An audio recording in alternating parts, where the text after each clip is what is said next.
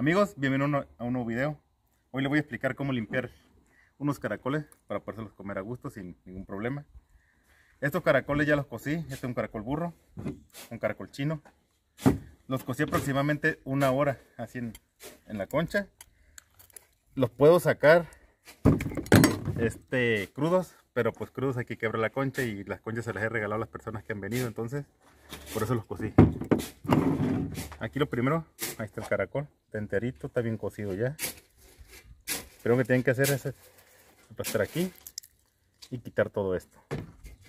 Entonces se va a retirar aquí. Aquí se le puede hacer un corte para limpiar todo esto. Todo aquí, mira. Que queden bien limpiecitos. Todo esto. Aquí.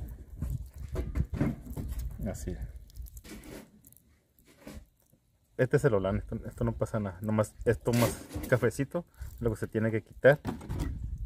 Y aquí también tiene una tripita. Esta que tiene aquí. Este de aquí. Hasta aquí llega. Y aquí se va a lavar. Así. Vean, este ya está listo. Y esto, esta parte de aquí se puede raspar. Que de hecho cuando el caracol está crudo es más fácil raspar esto para quitarle todo esta parte en vez como mancha. Así. Pero también se puede hacer con, con, un cepillito con algo y el caracol queda limpiecito. Así ya no hay problema de que te pueda hacer daño por algo cualquier cosa así y el caracol chino es igual lo único diferente es la concha. Ven, la carne es igualita. Y la misma operación. Hay que aplastarlo. Hay que retirar bien esto. Retirar la uña. Y listo. Así. Aquí nomás. Esto es lo que se va a limpiar. Este no tiene la, la, la tripita que tiene este. Este no la tiene. Nada, así está. Ahí está listo. Y este es igual. Se puede agarrar aquí. Se talla con un, cepillo y queda limpiecito. Poquito limón así, mira. Ahí. Y está bien bueno. Bueno, en las personas que les gusta el caracol, saben que está bueno. Las personas que no les gusta, pues va a decir, no, eso está bien malo.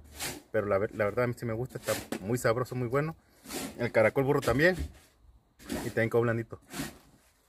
Mm. Mira, este más blandito. Este es blando, blando de más, mira. Mira. Este sin limón. Pues así se limpian unos caracoles, amigos.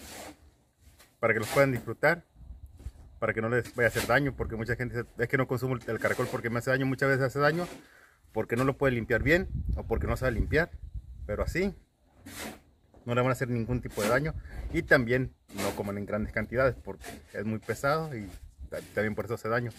Pues así, nos vamos a despedir amigos de este video, espero y, y les sirva de mucho, y pues nos vemos en el próximo. Un fuerte abrazo para todos.